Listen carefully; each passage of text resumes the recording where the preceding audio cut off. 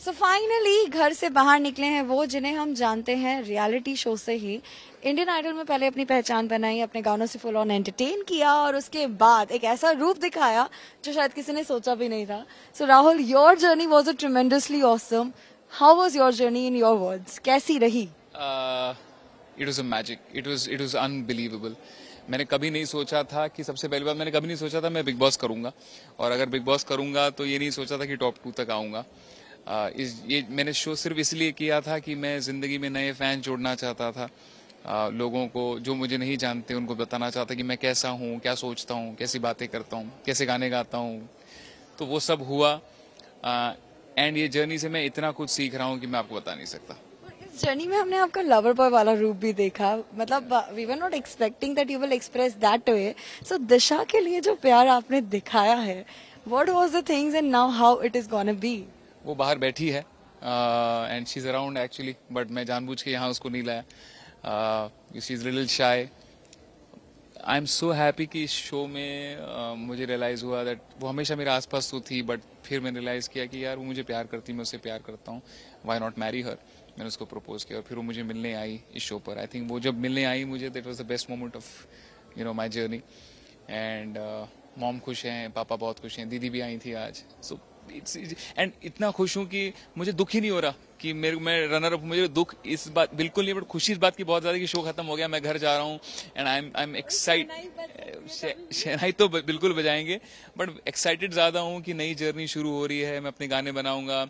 In fact I just reach a million followers so I am very happy I started this show with one eighty K followers in four months I reached one million followers I see trend vends बहुत सारे हुए हैं but अभी मैं उस सबसे थो, थोड़ा दूर रहना चाहता हूँ।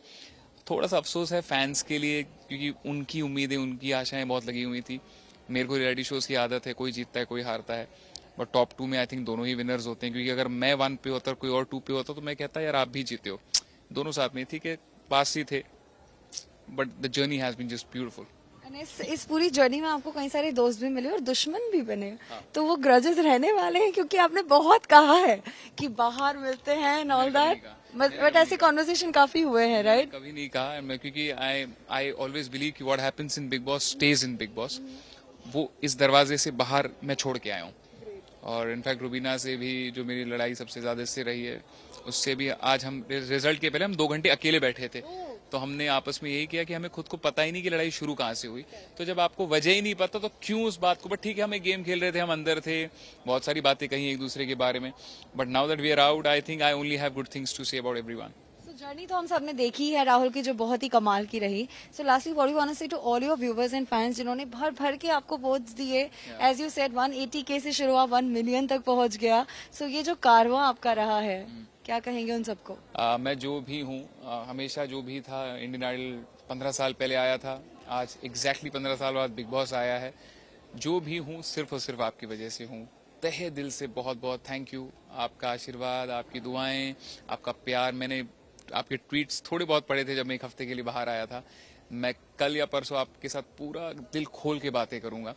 But again thank you so much for all your support all your love मैं जो भी हूँ जो भी रहूँगा वो सिर्फ़ और सिर्फ़ आपकी वजह से होगा। थैंक यू आपसे बात करें तो एक लास्टली गाना हो जाए आपकी तरफ़ से। आई नो गला गया हुआ है बट दो लाइन फ्रॉम योर साइड आपके फैंस के नाम? hmm, याद तेरी आंदी रही। मैं सारी रात पींदा रहा बिग बॉस की याद तेरी आंदी रही। मैं सारी रात पींदा रहा thank you so much for connecting with us और ऐसे ही सुरीले गाने हम सुनने की उम्मीद करते हैं और भी ज़्यादा। So all the best to you thank you इंतज़ार कीजिए कल तक। और आप बने रहिए आज तक पर।